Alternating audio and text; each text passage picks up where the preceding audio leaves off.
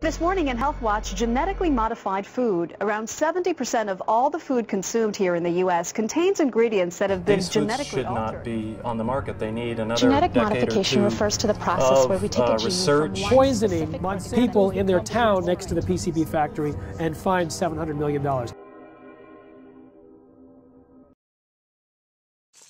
We can pick varieties that that are healthier, that have um, higher nutritional content, that have more flavor. We do a lot of just hoeing and weeding by hand and everything, um, versus you know we don't use uh, pesticides, insecticides, things like that.